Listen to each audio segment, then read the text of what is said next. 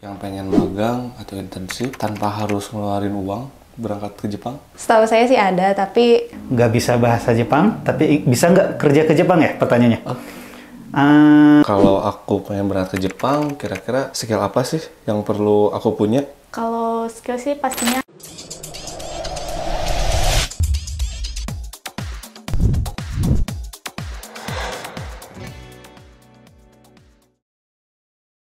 Hai, hai. boleh dikenalin namanya siapa? Perkenalkan, nama saya Nabila Hidayat. eh, nama saya Sinta Dea Globulina, biasa dipanggil Sinta. perkenalkan, nama saya Fadil. Muhammad Fadil lebih lengkapnya ya. Jadi pengalaman Cinta di Jepang apa nih? Eh, kalau saya sebenarnya ada dua kali sih. Kalau yang pertama tuh sebenarnya cuma liburan aja, tapi yang lamanya itu saya satu tahun di sana. Saya ikut program internship dari kampus. Saya pernah ke Jepang sebanyak dua kali, yaitu program internship. Yang pertama itu di tahun 2018 selama tiga bulan, dan yang kedua itu tahun 2021 selama satu tahun. Hmm, waktu itu saya selama satu tahun ya, saya internship di Jepang. Lebih tepatnya di kota Osaka waktu itu. Skill apa nih yang Cinta punya pada saat Cinta berangkat intensif? Kalau skill sih saya cuma ada bahasa Jepangnya aja. Bahasa Jepang saja. Kalau pas berangkat saya mm, baru ada M3 aja sih. Saya sebelum ke Jepang waktu itu saya udah lulus N2. Saya sebelum berangkat ke Jepang punya JLPT N3, ya standar untuk berbicara sehari-hari. Karena ada beberapa pertanyaan nih dari teman-teman kita yang pengen tahu tentang gimana sih intensif di sana atau magang di sana. Jadi kita ada beberapa pertanyaan nih buat Fadil. Kalau untuk intensif ke Jepang dulu pengalaman ngabisin budget berapa kira-kira? Pertanyaan pertama udah budget nih. Jadi waktu pertama saya ke Jepang tahun 2018, budget yang diperluin sekitar 15 juta karena tiketnya sudah dibayar oleh pihak outso- outsourcing dari sana. Jadi saya dikasih biaya untuk tiketnya. Saya cuma perlu biaya selama satu bulan tinggal di sana. Kebetulan saya dapatnya di kota Tokyo dan di sana itu biaya hidupnya lumayan mahal. Jadi saya bawa prepare sekitar 15 juta. Kalau budget karena kan programnya kan antara kampus dan ini ya eh, agennya gitu. Jadi sebenarnya kalau untuk pembayaran ke agennya nggak ada, ini gratis. Cuman memang kita harus memerlukan biaya untuk tiket pesawat, terus juga bekal juga pas kita 1 sampai 2 bulan di sana. Kalau dulu Sinta ngeluarin paling sekitar 15 sih, 15 juta. Kalau pengalaman saya waktu itu karena internship ya, memang statusnya itu harus mahasiswa waktu itu saya. Dan kebetulan saya gabungnya atau ke Jepang itu dengan SO yang terbuka ya untuk urusan budget. SO atau Sending Organization ya. Di sana itu saya berangkat ngeluarin sekitar 10 sampai 15 juta untuk berangkat. Ya itu udah termasuk biaya satu bulan di sana ya sebenarnya. Kalau menurut Nabila, kira-kira ada kesempatan nggak sih untuk yang pengen magang atau intensif tanpa harus ngeluarin uang berangkat ke Jepang? Setahu saya sih ada, tapi kalau misalkan yang ada itu biasanya kita harus udah punya skill bahasa yang lebih. Ada juga yang bisa dana talang mungkin ya. Jadi dibayarkan ketika kita sudah bekerja di sana sambil mencicil bayarannya di sana. Misalkan nih, kalau aku pengen berangkat ke Jepang, kira-kira skill apa sih yang perlu aku punya? Kalau skill sih pastinya harus bahasa Jepang ya, karena kan ketika kita mau berangkat atau ingin bekerja di negara orang itu minimal harus ada bahasanya. Tapi tergantung juga visa yang dipilih. Kan banyak tuh eh, apa ya visa-visa kerja yang disediakan oleh orang Jepangnya. Pertama ada visa profesional, kedua ada visa Tokutegino, ketiga ada visa magang. Nah, kalau misalkan mau pilih yang Tokutegino memang ada skill tertentu bidang tertentu yang ingin dipilih itu. Ada 14 bidang kan soalnya. Cuman kalau di Indonesia baru ada sekitar 5 bidang. Semisal nih, aku punya skill tapi bahasanya nggak bisa. Aku bisa nggak sih berangkat kerja atau magang di, ke Jepang? Oke, nggak bisa bahasa Jepang, tapi bisa nggak kerja ke Jepang ya pertanyaannya? Ah, bisa. Sebetulnya kalau belum bisa sama sekali pun ada sih program pemagangan yang bisa berangkat ke Jepang. Nah, masalahnya ada yang menerima nggak gitu. Ya, perusahaan Jepang mana yang mau nerima mereka yang bahkan bahasa Jepang pun nggak bisa gitu kan ya bahasanya gitu. Cuman bayangin aja nanti kalian di Jepang kalian belum bisa bahasa Jepang di Jepang itu kalian pasti bakal Hah? Hah?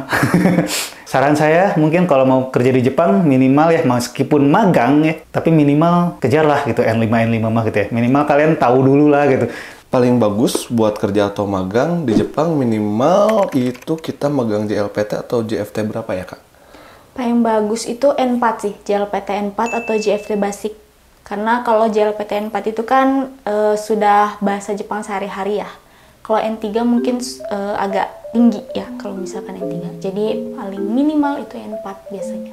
Ada bedanya nggak sih kira-kira di kalau misal kita megang JLPT atau JFT dibanding sama kalau nggak kita megang apa-apa sama sekali gitu, nggak punya pegangan? Kalau buat saya sih jelas beda banget ya karena bersosialisasi di sana buat pakai fasilitas yang ada di sana juga setidak-tidaknya kita perlu bisa bahasanya kan. Kalau misalkan nggak pegang sama sekali ke satu tulisan bahasa Jepang itu berbeda dengan tulisan kita kan. Pakai hiragana dan katakana ada juga kanji. Bayangin kalau nggak tahu sama sekali bahkan hiragana nggak tahu sama sekali mungkin akan bingung sih. Boleh dijelasin nggak sih kira-kira JLPT itu fungsinya apa dan JFT itu untuk apa? Oh, kalau JLPT itu lebih umum kak, jadi bisa dipakai buat sekolah, bisa juga bis, eh, dipakai buat kerja. Nah kalau JFT dia khusus buat visa atau kutegino yang untuk bekerja gitu. Jadi kalau yang mau punya JFT mau sekolah berarti JFT-nya nggak kepake. Kalau punya JLPT berarti dia bisa sekolah, dia juga bisa kerja gitu. Kalau boleh tahu waktu Kak Sinta sama Kak Jojo bikin video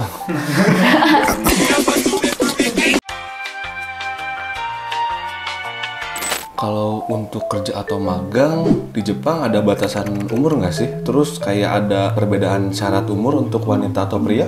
Sebenarnya saya nggak bisa jawab secara detail berapanya, tapi biasanya sih tergantung perusahaannya sih ya kalau yang itu setahu saya. Jadi selama kalian memang masih di usia produktif sih, harusnya bisa-bisa aja. Tapi kalau untuk kerja profesional itu sebenarnya masih ad- masih ada sih setahu saya ya. Sebenarnya di umur 30-an pun masih memungkinkan kalau profesional worker ya.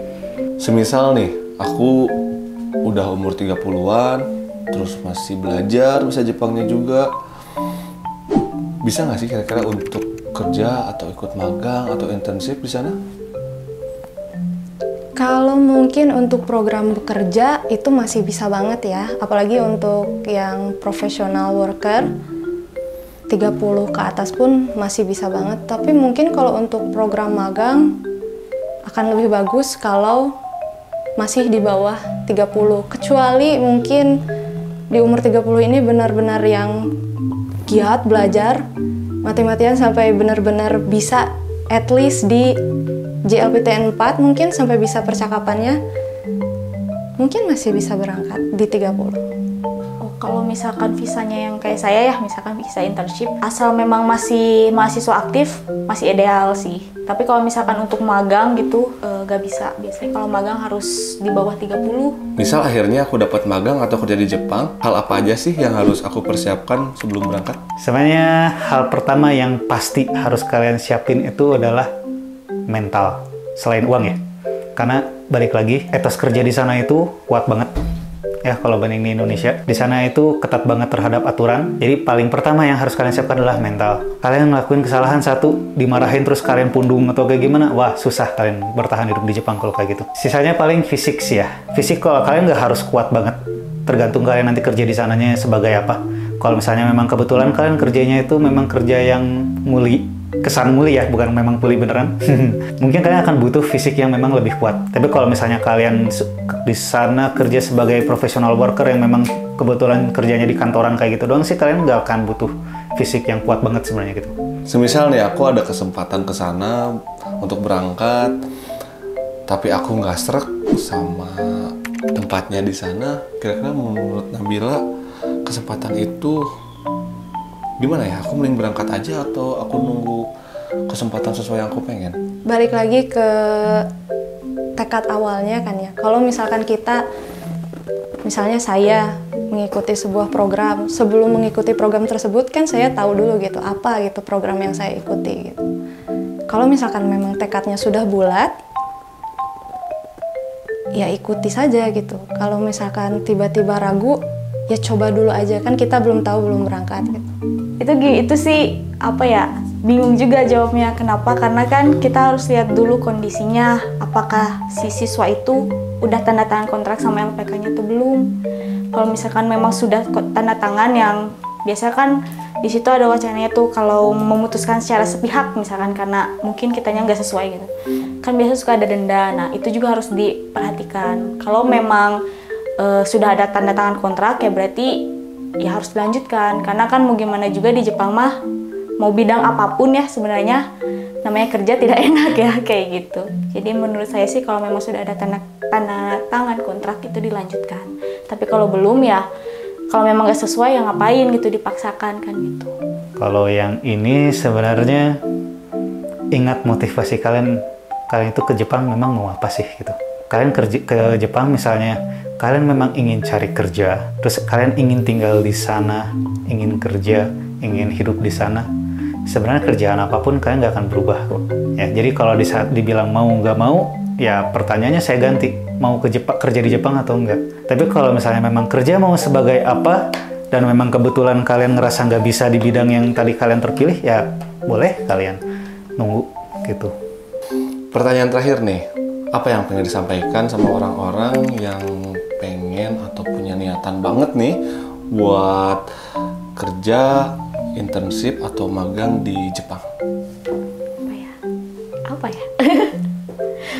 Pokoknya kalau memang itu mimpi kalian kan kalau di Jepang itu memutuskan ingin kerja di Jepang itu kan gak mudah ya. Pertama itu harus ada restu orang tua. Kedua juga kita harus siap ya.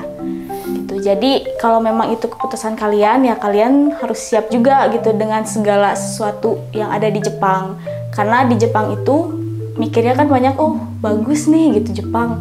Indah gajinya besar. Memang gajinya besar tapi kan kita tidak tahu lingkungannya seperti apa. Kadang anak-anak mau yang kerja maupun sekolah juga kadang ada yang menyerah gitu. Jadi makanya apa pun itu kalian harus siap dengan tujuan utama kalian apa gitu. Buat yang pingin kerja atau magang ke Jepang, pertama kita harus kuat-kuatin dulu eh, mental kita buat kerja di sana karena memang kerja di sana itu nggak mudah, tapi terbayar kok dengan eh, nanti juga terbayar dengan kerja keras kita setelah di sana karena di sana juga eh, cukup nyaman.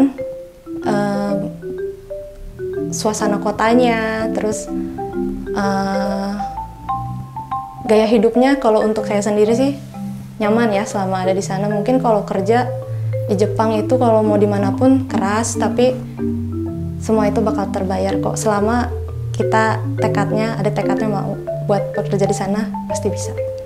Hmm, yang ingin disampaikan ke kalian yang ingin kerja magang atau macam-macam lah nanti di Jepang. Jepang itu memiliki budaya yang berbeda dengan Indonesia. Ya. Jadi saya ingin nitip pesan buat kalian. Jangan malu-maluin Indonesia. ya. Karena sebenarnya nggak banyak sih ya yang memang yang penting mereka ke Jepang terus sudah ke Jepang mereka kabur ya visa udah habis mereka kabur entah ke mana gitu ya jadi ilegal di sana semuanya ada dan memang banyak dan beberapa di antaranya bahkan orang Indonesia ya dan hal itu itu akan mempersulit mempersulit orang-orang yang berikutnya ingin ke datang ke Jepang nanti ya jadi maksud saya jangan mempermalukan Indonesia itu bukan karena bukan hanya sekedar kita itu orang Indonesia gitu bukan ya tapi dengan kalian melakukan hal seperti itu, ya atau kalian merusak image orang Indonesia itu akan mempersulit ya adik-adik kalian nanti ketika ke- mereka akan ke Jepang gitu. Jadi titip dari saya paling itu ya. Ya Jepang itu memiliki budaya yang lebih ketat terhadap aturan. Jadi saran saya ikuti aja aturan mereka. Ya. Selama kalian ngikutin aturan ketika di Jepang aman kalian mah. pasti. Terakhir nih, punya quote bahasa Jepang nggak? Sama boleh dikasih tahu artinya apa? Untuk teman-teman. Eh, saya punya sih satu Ya. quote yang selalu saya ingat. Eh, quotesnya itu Iseki Nicho. Artinya sekali lempar batu, dua burung Kena. kena gitu. Kalau mungkin kalau di bahasa Indonesianya Sekali dayung, Dua pulau. dua pulau terlewati. Hmm, moto Gambari Masyo. Gambari Masyo. Artinya apa tuh artinya? Ayo lebih semangat lagi. Iya. Thank you, terima kasih. Semangat yang kuat di J Class. Oke, thank you.